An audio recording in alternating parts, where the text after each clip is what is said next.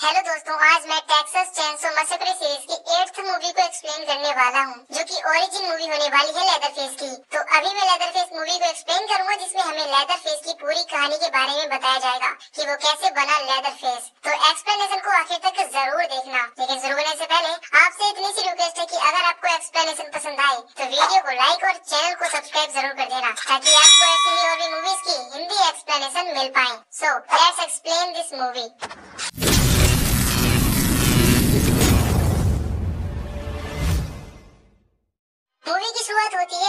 1955 में और हमें सोयर फैमिली को दिखाया जाता है, जहाँ पर जेड सोयर का आज बर्थडे सेलिब्रेशन किया जा रहा था। यहाँ पर उसके फादर ग्रेटन सोयर उसका भाई और उसके ग्रैंडपा के साथ साथ उसकी आंटी बर्ना सोयर भी मौजूद होती है। यहाँ पर इन लोगों ने एक आदमी को बाँध रखा होता है, जो इनके पिग यानी सुअर की चोरी करने आया था। वर्ना जेड को उसके बर्थडे गिफ्ट के रूप में उसे एक चैंसो देती है। इसके बाद वो जेड से उस चैंसो की मदद से चोर को मारने के लिए कहती है। इसके बाद ग्रेटन चैंसो को स्टार्ट कर देता है। उसकी फैमिली के सभी लोग उसे चीयर्स भी करने लगते हैं। पर जेड उस आदमी को मारना नहीं चाहता था। ग्रेटन जेड से ज़बरदस्ती करने लगता है, जिससे उस आदमी की एक टांग कट जाती है। इसके बाद जेड चैंसो को नीचे फेंक देता है। जब जेड उस आदमी को नहीं मारता है तो उसके ग्रैंड पा एक हथौड़े से उसके सर पर अटैक करके उसे मार डालते हैं। अगली सुबह हम बेटी और टेड को कंट्री रोड पर ड्राइविंग करते हुए देखते हैं। तभी अचानक से उनके ट्रक के सामने एक पीर आ जाता है। लेकिन किसी तरह उसे बचा लेता है। जिसके बाद वो अपनी ट्रक को रोकता है। बेटी उसे देखने के लिए ट्रक से उतर कर जाती है। जब बेटी थोड़ा नज़दीक जाकर देखती है तो उसे पता चलता है कि वो एक छोटा लड़का था जो एक पिग की बॉडी पहना हुआ था और उसने अपने हेड पर एक कैटल हेड लगाया हुआ था। वो लड़का बेटी से हेल्प माँगता है और वहाँ से जंगल की तरफ़ भाग जाता है। बेटी भी उसकी हेल्प करने के लिए उसके पीछे पीछे भागने लगती है। टेड उसे रोकने की कोशिश करता है। बेटी जब लड़की के पीछे जाती है तो वहाँ पर उसे एक पुराना बार यानी कि तबेला दिखाई देता है। जब वो अंदर जाती है तो वहाँ पर वो लड़का दिखाई देता है। लेकिन तभी वो खुद एक ट्रैप में फंसकर गड्ढे में गिर जाती है। जिससे वो बुरी तरह से घायल हो जाती है। इसके बाद हम देखते हैं कि वो लड़का जेड होता है जो अपने फादर और ब्रदर के साथ मिलकर ये सब कर रहा था। ये लोग बैटी के ऊपर एक बड़ा सा इंजन गिराकर उसे मार डालते हैं। कुछ ही देर बाद इस क्राइम सीन पर पुलिस भी पहुँच जाती है। टेड भी बेटी के पीछे गया होता है, लेकिन उसे यहाँ पहुँचने में काफ़ी देर हो चुकी होती है। बेटी के फादर हार्टमैन भी यहाँ पर पहुँच गए होते हैं तो यहाँ के शेरिफ होते हैं। हार्टमैन को अपनी बेटी की मौत की मटर का बहुत अफसोस हो रहा था, लेकिन ब्रेटन के खिलाफ कोई भी सबूत नहीं मिल पाने के कारण वो उसका कुछ भी नहीं कर पाता। हार्टमैन इनसे बदला लेने के लिए जेड को अपनी कस्टडी में ले लेता है। हार्टमैन ने जेड की प्रोटेक्शन के लिए उसे कस्टडी में लिया था, क्योंकि यहाँ पर जितने भी क्राइम होते थे, उसमें सोयर फैमिली का नाम किसी न किसी तरह ज़रूर जुड़ा होता था। इसीलिए हार्टमैन जेड को चाइल्ड इंडेंजरमेंट के तहत अपनी कस्टडी में ले लेता है। जेड की एंटी वरना उसे रोकने की बहुत कोशिश करती है, लेकिन वो कुछ नहीं कर पाती। इसके बाद जेड को गोरमन हाउस यूथ रिफॉर्मरी नाम के मेंटल इंस्टीट्यूट में भेज दिया जाता है। ये एक ऐसा चाइल्ड केयर प्रोग्राम होता है जहाँ पर ऐसे लड़कों को रखा जाता है जो क्रिमिनल एक्टिविटी वाले फैमिली से बिलोंग करते थे।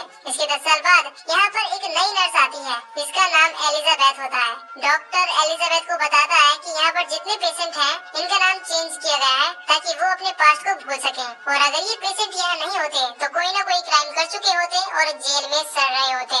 डॉक्टर एलिजाबेथ को केयरफुल रहने के लिए बोलता है और यहाँ से चला जाता है। एलिजाबेथ वहाँ पर बर्ड नाम के एक लड़के से बात करने की कोशिश करती है, लेकिन जब बर्ड कोई रिप्लाई नहीं करता है तो बर्ड का फ्रेंड जैक्सन उससे बात करने लगता है। यहाँ नाम का एक लड़का दूसरे लोगों के साथ बदतमीजी कर रहा था। जब एलिजाबेथ उसे रोकने की कोशिश करती है तो वो उसे ही हैरेस करने की कोशिश करता है। लेकिन जैक्सन वहाँ पर आकर उसको बचा लेता है।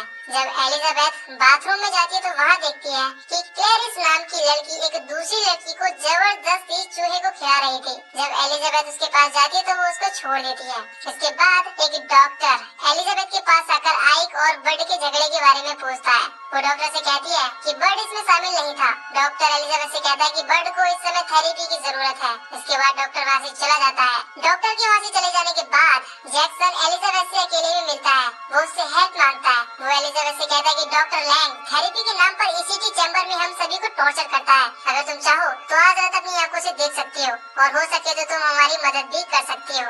अब कुछ समय बाद यहाँ पर जेड से मिलने के लिए बर्ना पहुँच जाती है। अब वरना की शादी एक अमीर आदमी से हुई होती है। और अब वो सोयर से कोर्सन बन चुकी है। वो पिछले कई सालों से जेड से मिलने की कोशिश कर रही थी, लेकिन फाइनली अब उसके पास लॉयर अफोर्ड करने के लिए पैसे हैं। वरना का लॉयर जेड से मिलने के लिए कोर्ट ऑर्डर लाया था। लेकिन अब प्रॉब्लम ये थी कि जेड को यहाँ लाने के बाद उसका नाम चेंज कर दिया गया था।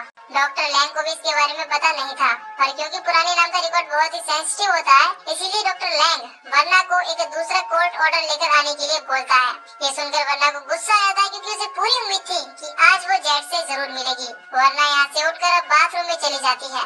इधर एलिजाबेथ देखना चाहती थी कि इसी चैम्बर में डॉक्टर बड के साथ क्या करता है। इसीलिए वो चुपके से वहाँ पर जाती है। वो देखती है कि डॉक्टर बड को हाई वोल्टेज इलेक्ट्रिक शॉक दे रहा था और वहाँ पर आइक भी था।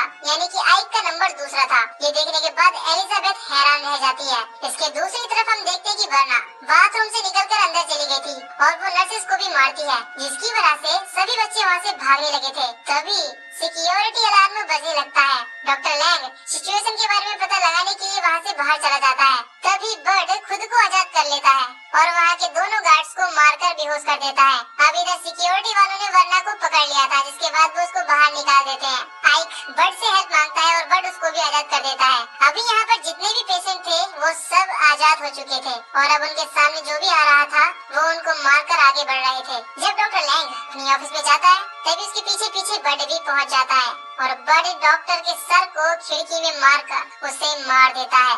अब एलिजाबेथ यहाँ से एक नर्स के साथ में निकलने की कोशिश कर रही थी, लेकिन तभी वहाँ पर एक पेशेंट आकर उस नर्स को मार देता है। वो पेशेंट अब एलिजाबेथ की ओर बढ़ने लगता है, लेकिन तभी वहाँ पर जैक्सन आ जाता है और उस पेशेंट को मार देता है। उस पेशेंट को मारने के बाद जैक्सन एलिजाबेथ को लेकर वहाँ से बाहर निकल जाता है, लेकिन तभी वहाँ पर एक कार को लेकर आइक और क्लैरिस भी पहुँच जाते हैं। और उनको पकड़ लेते हैं। तभी वहाँ पर इनको बर्ड मिल जाता है। बर्ड ने आइक की मदद की थी, इसीलिए आइक बर्ड को कार में बैठा लेता है, जिसके बाद वो वहाँ से निकल जाते हैं। कुछ दूर जाने के बाद वो सभी एक जगह पर रुकते हैं।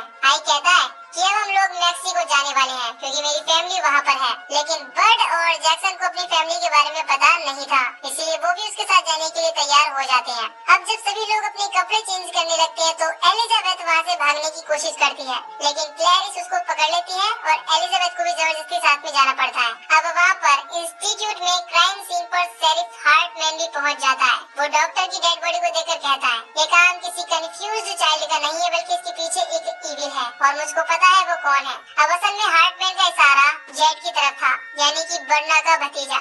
इसके बाद वो पूरी पुलिस फोर्स को उनके पीछे लगा देता है। अब वर्ना को भी पता चल चुका होता है कि इंस्टीट्यूट से तीन लड़के भाग चुके हैं। वो उनके पीछे अपना एक जासूस लगा देती है। शेरिफ हार्टमैन भी अपने लोगों से उनको देखते ही शूट करने का ऑर्डर दे चुका होता है।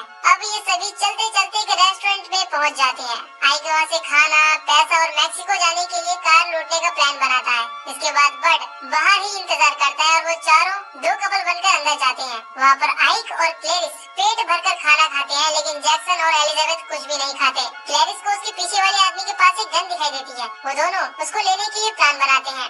क्लेरिस जानबूझकर एक गिलास को नीचे गिरा देती है। जैसे ही एक वेटर वहाँ पर आती है आइक उस पर अटैक कर देता है और क्लेरिस एक चाकू से पीछे वाले आदमी को मारकर उसका गन ले लेती है। अब जो भी उसके सामने आता है, वो उसको शूट करके मारने लगती है। काउंटर के पीछे रखी हुई शॉटगन को आइजक ले लेता है। इसके बाद ये दोनों मिलकर वहाँ पर आए हुए सभी लोगों को लूट लेते हैं। आइक उस वेट्रेस को भी शूट करके मार देता है। एलिजाबेथ वहाँ से भागने की कोशिश करती है, लेकिन बर्ड उसे पकड़ लेता है। जब ये सभी वहाँ से एक कार में बैठकर भागने लगते हैं, तभी एक आदमी उनकी तरफ़ गोली चलाने लगता है और वो गोली बर्ड को लग जाती है। इसके बाद वे सभी जल्दी से एक कार में बैठकर वहाँ से निकल जाते हैं। तभी यहाँ पर हार्ट मैन भी पहुँच जाता है। वो जानता है कि ये काम उन सभी का है। इधर इस कार में फ्यूल कम होने की वजह से कुछ दूर जाने के बाद इनकी कार बंद हो जाती है। इसके बाद ये सभी पैदल ही आगे बढ़ना शुरू कर देते हैं। जंगल के बीच में इनको एक पुराना ट्रेलर मिलता है। जब वो सभी चेक करते हैं तो उसके अंदर ट्रेलर के डेड बॉडी मिलती है, जिसने सुसाइड किया हुआ था। अब यहाँ पर इनको रात बिताने के लिए एक अच्छी जगह मिल चुकी थी। अब आइक और क्लैरिस रात में उस डेड बॉडी के साथ बहुत ही घिनौनी हरकतें करते हैं। इसके बाद वे दोनों सो जाते हैं। जैक्सन भी सो जाता है और बड बाहर पहरा दे रहा था। जब सभी लोग सो जाते हैं तो मौका देखकर एलिजाबेथ ट्रेलर से भाग जाती है। लेकिन तभी वहाँ पर आइक आकर उसे पकड़ लेता है। वो उसका रेप करने की भी कोशिश करता है, लेकिन तभी वहाँ पर जैक्सन आकर उसे मारने लगता है। जैक्सन एलिजाबेथ को वहाँ से भाग जाने के लिए बोलता है, लेकिन तभी वहाँ पर क्लैरिस शॉटगन के साथ आ जाती है। बड के पहरा देते समय एलिजाबेथ वहाँ से भाग नहीं गई थी इसलिए आइक बड को उल्टा सीधा बोलने लगता है। क्लैरिस जैक्सन और एलिजाबेथ को लेकर ट्रेलर में चली जाती है। अब बड को आइक पर बहुत गुस्सा आया होता है। वो उसको अकेले पाकर उस पर अटैक करके जख्मी कर देता है और घसीटते हुए एक पत्थर के पास ले जाता है। जिसके बाद उसके सर को पत्थर पर रखकर अपने पैर से कुचलकर मार देता है। जब सुबह होती है तो क्लैरिस आइक को वहाँ पर न पाकर परेशान हो जाती है। वो उसको ढूँढने के लिए जंगल की तरफ़ चली जाती है। बट भी वहाँ नहीं था।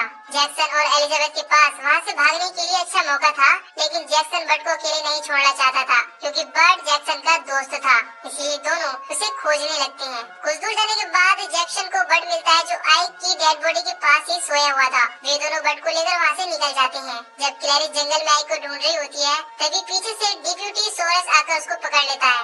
हार्टमैन भी यहाँ पर आ जाता है और वो एलिजाबेथ पर अपना गुस्सा निकालने लगता है। एलिजाबेथ वहाँ से भागने की कोशिश करती है, लेकिन वो उसके पैर में गोली मार देता है। ये तीनों भी अब जान जाते हैं कि हार्टमैन भी यहाँ पर पहुँच चुका है। एलिजाबेथ हेल्प मांगने के लिए हार्टमैन के पास जाने के लिए सोचती है, तभी जैक्सन उसे बताता है की वो एक अच्छा ऑफिसर नहीं है और वो तुम्हें भी मार देगा। इधर हार्टमैन एलिजाबेथ को ट्रेलर के पास लेकर आता है। वो उससे पूछता है कि अंदर कौन कौन है। लेकिन एलिजाबेथ उससे कुछ भी नहीं बताती। जब एलिजाबेथ उससे कहती है कि तुम अपनी लड़की की मौत का बदला ले रहे हो तो ये सुनकर उसे गुस्सा आ जाता है और वो उसे शूट कर देता है। इसके बाद ये सभी ट्रेलर पर शूट करने लगती हैं। ये देखकर वो तीनों यहाँ से भाग जाते हैं। डिप्यूटी, ट्रेलर के अंदर जाकर चेक करता है, लेकिन वहाँ पर उसे डेड बॉडी के अलावा कुछ भी नहीं मिलता। अब वो सभी इनके पीछे अपने कुत्तों को लगा देते हैं। इन तीनों को कुछ दूर आगे जाने पर एक मरी हुई कैटल दिखाई देती है। वे तीनों उसके अंदर छिप जाते हैं जिससे डॉग्स इनको नहीं ढूंढ पाते जब डॉग्स वहाँ से चले जाते हैं तो वो तीनों बाहर निकलते हैं और आगे बढ़ने लगते हैं तभी एलिजाबेथ की नज़र ब्रिज पर जा रही पुलिस की गाड़ी पर पड़ती है इसीलिए एलिजाबेथ उससे मदद मांगने लगती है जैक्सन एलिजाबेथ को ऐसा करने से रोकता है लेकिन अब तक वो पुलिस ऑफिसर वहाँ पर बैकअप बुला चुका होता है पुलिस ऑफिसर को रोकने के लिए बर्ड उसकी ओर बढ़ने लगता है ये देखकर वो पुलिस ऑफिसर बर्ड को शूट करने लगता है लेकिन बर्ड उसके पास जाकर उसे पकड़ लेता है अब वो पुलिस ऑफिसर बर्ड के सर में गोली मार देता है। ये देखकर जैक्सन पूरी तरह से पागल हो जाता है। वो उस पुलिस ऑफिसर को बहुत मारता है। एलिजाबेथ कार को स्टार्ट करती है और ये दोनों वहाँ से निकल जाते हैं। अब बर्ड की मौत से जैक्सन पूरी तरह से मेंटली डिस्टर्ब हो चुका था। वो एलिजाबेथ को ब्लेम कर रहा था। कि तुम्हारी वजह से बर्ड की मौत हुई है। तभी इनके पीछे हार्टमैन पड़ जाता है। वो इनके ऊपर गोलियाँ चलाने लगता है। ये दोनों बचने की काफ़ी कोशिश करते हैं, लेकिन तभी एक गोली जैक्सन के चेहरे पर लग जाती है, जिससे उसका पूरा चेहरा ही खराब हो जाता है। इसके बाद एक गोली एलिजाबेथ के हाथ में लग जाती है, जिसकी वजह से उनकी कार क्रैश हो जाती है। इसके बाद जब एलिजाबेथ को होश आता है तो वो खुद को हार्टमैन की कार में लॉक पाती है। लेकिन वहाँ पर हार्टमैन नहीं होता। डिप्यूटी सोरेल हार्टमैन से कांटेक्ट करने की कोशिश कर रहा था। एलिजाबेथ डिप्यूटी सोरेल की आवाज़ सुन लेती है और उनको सब कुछ बता देती है। लेकिन तभी यहाँ पर हार्टमैन आता है और उसको लेकर एक पुराने बार यानी तबेले में आ जाता है। और ये वही तबेला है जहाँ पर आज से दस साल पहले सोयर्स ने हार्टमैन की बेटी को मारा था। उसने यहाँ पर जैक्सन को भी लटकाया होता है। वो एलिजाबेथ को बताता है कि ये जैक्सन नहीं है, बल्कि जेट सोयर है, जिसने मेरी बेटी को मारा था।